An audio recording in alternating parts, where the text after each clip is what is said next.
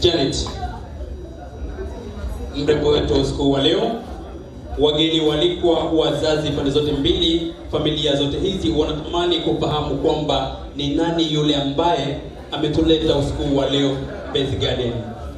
Wanatamani kufahamu ni nani ambaye ameusumbua moyo mpaka leo umeamua kusema yes, huyu ni kweli wa moyo wangu. Janet, kabla ya yote, hebu tuambie tu kwamba mara ya kwanza kuonana na yule kipenzi cha moyo wako ilikuwa ni muda gani, au miaka mingapi imepita, au mlionana wapi kwa mara ya kwanza tu? Hebu tuambie. Karibu Janet. Wageni walikuwa, naomba tumsikilize Janet tafadhali.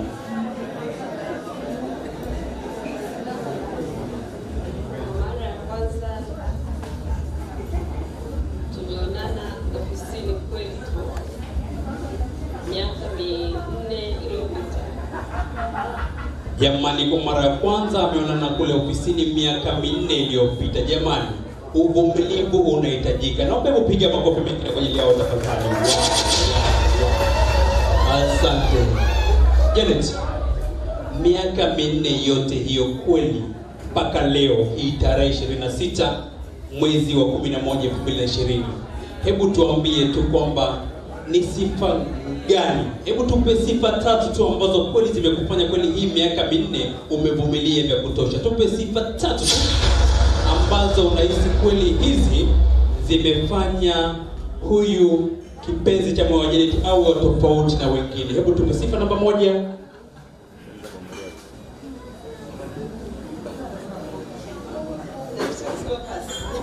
Unaruhusiwa tafadhali. Naomba sifa namba moja tafadhali, tuambie ni sifa gani ambayo umeona kweli huyo kipenzi cha moyo wako? Atumfahamu, imekufanya kweli leo umetuita mahali hapa. kutuambia sifa namba moja. Karibu.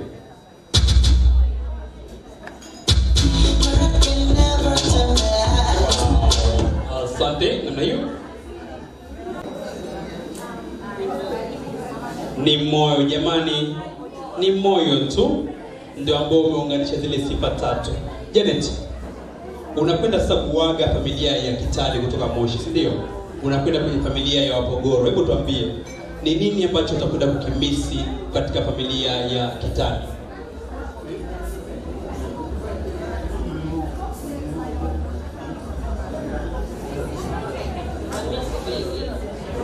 Cha kwanza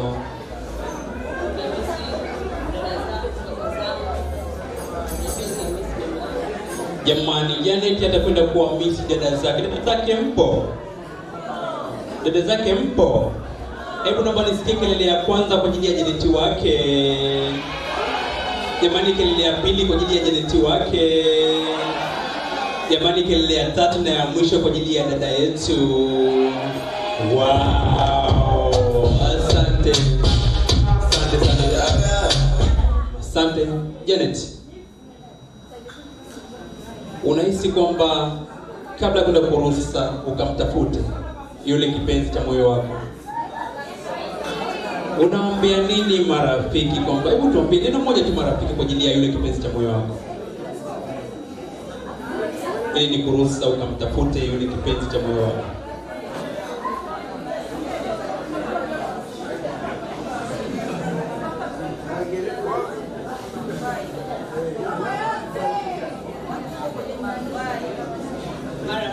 Zangu ambao bado hawajaingia hawajafikia hatua hii, naomba mshirikishe Mungu kwenye kila jambo na watafanikiwa.